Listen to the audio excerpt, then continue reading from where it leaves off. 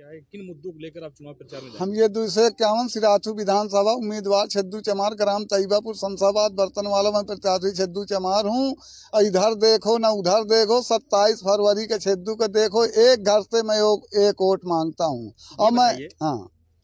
आपके साथ deputy CM Keshav Prasad Maurya आप लड़ रहे हैं। हाँ। देखो लाला मड़ाई लड़ा था शैतान नहीं लड़ता है। मानते हो बात? मैं भी लड़ूँगा, उनके साथ मैं दो सौ दो हज़ार बारह से चुनाव लड़ रहा हूँ भाई।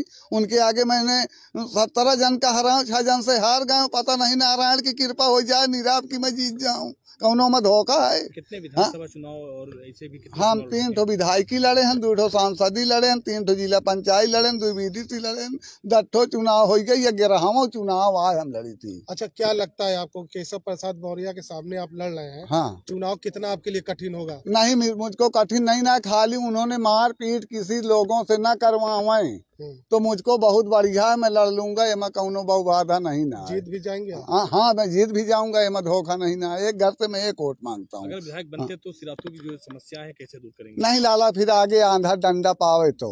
अब हम विधायक नहीं बना है। मानते हो हाँ, नहीं नहीं तो अब जो कुछ है जैसे सब करते थे उसे तो हम अच्छा ही करबे तो अभी तो आपने कहा कि लड़ाई झगड़ा मारपीट कराते थे तो आप भी उससे ज़्यादा अच्छा करेंगे। नहीं नहीं नहीं नहीं नहीं हम ये नहीं कराते हैं तो वो की बात अलग है।